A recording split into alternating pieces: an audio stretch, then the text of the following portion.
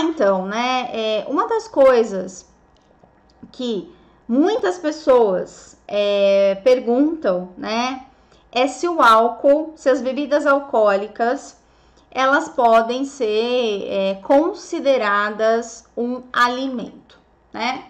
Então, primeiro, o que, que é um alimento, né? O que, que a gente pode chamar de um alimento?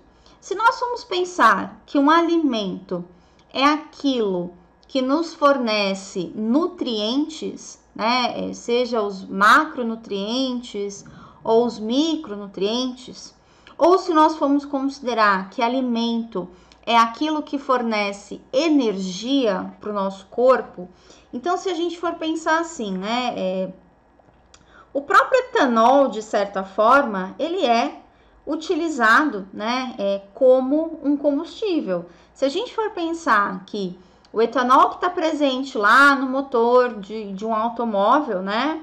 É, ele é oxidado aí, sofre o processo de combustão e produz CO2 e gera energia para esse é, automóvel.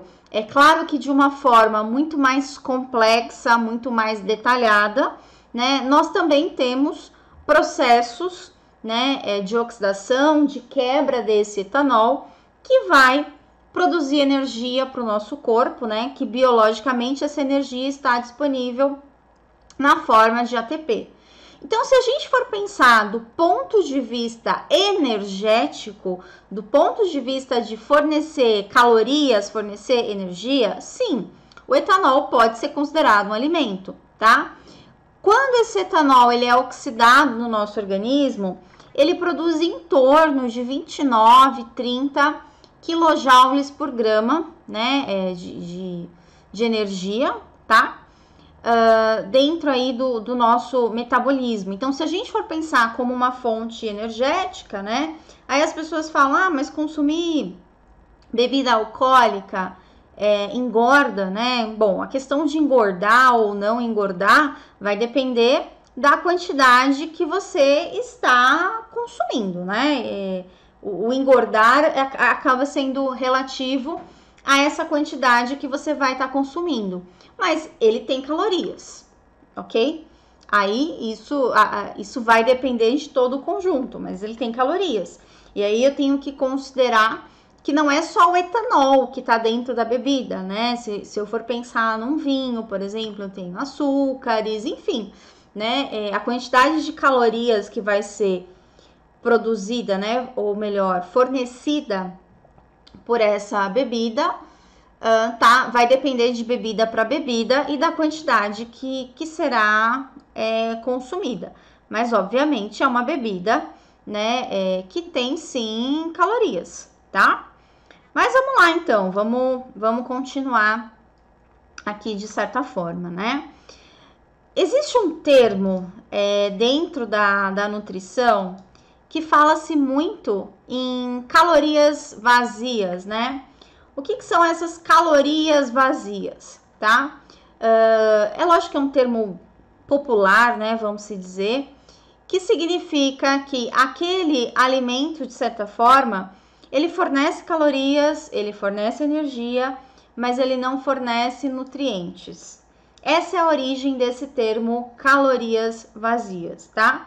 Então, muitas vezes, algumas bebidas alcoólicas, elas são é, consideradas, né, principalmente o álcool, de uma certa forma, ele é, é frequentemente mencionado como contendo calorias vazias, né? Ou seja, é lógico que ele tem calorias, ele fornece calorias, ele fornece energia, mas ele não fornece é, nutrientes tá? Então, esse é, esse é o conceito que a gente muitas vezes vê a respeito, né, é, de calorias vazias, tá?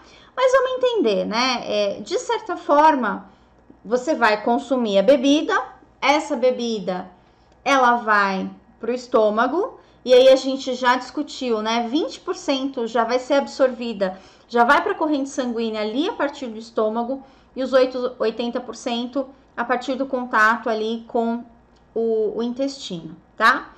Mas é, uma parte desse etanol vai ser eliminado na urina, né? É, também por meio da transpiração, da respiração, mas a principal fonte, né, é, de, de eliminação do etanol está associado ao fígado.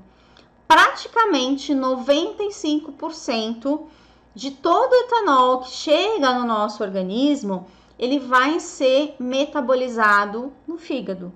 Então, o fígado, ele é um órgão responsável por diversos processos vitais, né?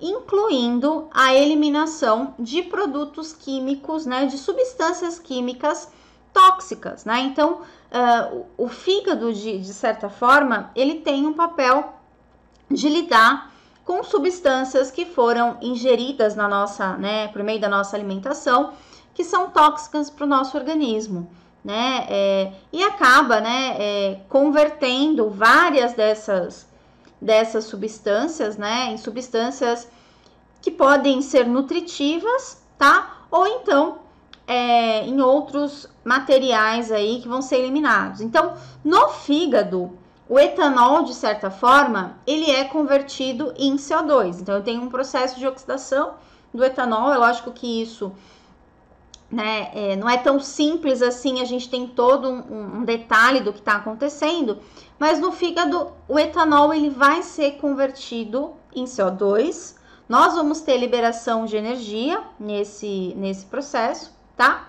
Só que grandes quantidades de etanol no nosso organismo por um longo período de tempo vai fazer com que o nosso fígado, né, é, ele trabalhe excessivamente, né, ou direcionado em relação a converter essa quantidade de, etanol, né, ou seja, eu tenho um grande acúmulo, uma grande quantidade de uma substância ali presente que o meu organismo reconhece como tóxica. Então, o que acontece é o fígado direciona né, é todo o seu trabalho para tentar reduzir essa quantidade de, de etanol e isso muitas vezes pode comprometer né, é, a ação do, do fígado em outras das suas funções. Então, esse acaba sendo, né, é, é, um dos grandes problemas, tá? Quando a gente fala do consumo do etanol. Então, em relação ao seu processo digestivo, né, a química aí envolvida na maneira como esse, esse etanol ele é eliminado, existem aí alguns danos, né, é, em relação ao, ao fígado. Né? O fígado tem um papel muito grande né, é, em relação à, eliminação desse, desse etanol. Né? Então, uh, esse é um ponto que, que merece atenção, né? É, os processos que vão ocorrer durante a digestão do etanol no fígado, né? E como que o fígado muitas vezes para algumas das outras, né, é, suas funções para conseguir converter aí esse etanol.